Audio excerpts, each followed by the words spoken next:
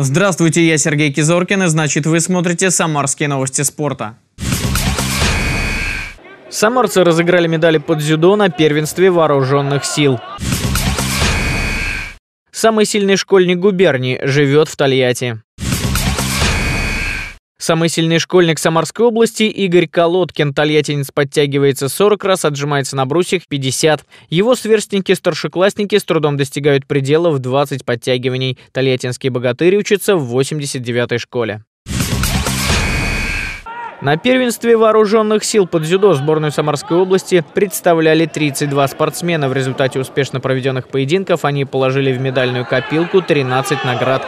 8 бронзовых, 3 серебряные и 2 золотые. Чемпионами стали Вита Майданник и Ульви Райгимли.